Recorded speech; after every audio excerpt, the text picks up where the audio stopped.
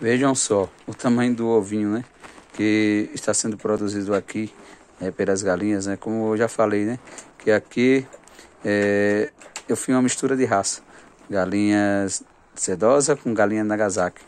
Então, veja só, se eu hoje não tivesse postado vídeos falando para vocês que esse ovinho era ovinho de uma galinha, é, vocês não iriam acreditar, né? Muitos poderiam até dizer que era é, ovo de qualquer outro pássaro, né?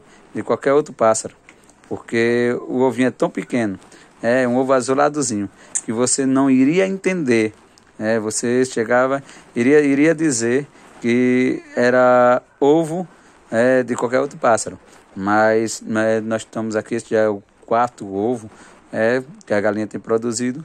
É, eu creio é, que quando for tirar filhotes, né, vai tirar uns, é, vai ser uma ninhada muito grande, né? Vai ser, os pintos vai ser tão grande, vai ser enorme, vai ser igual um avestruz. para dizer o contrário, né? Eu acho que vai ser um pintinho bem pequenininho. É, e quando eu tirar esses pintinhos, é, eu vou fazer com certeza um vídeo para mostrar, né? O tamanho dos pintinhos.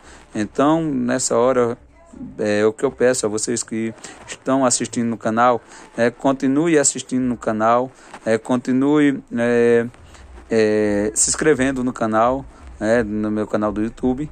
Também é, deixe o seu joinha, né? Deixe seu joinha, é, seu joinha e compartilhe. Compartilhe, né? Que eu vou fazer mais vídeo. É, em nome de Jesus. Que Deus venha abençoar a todos.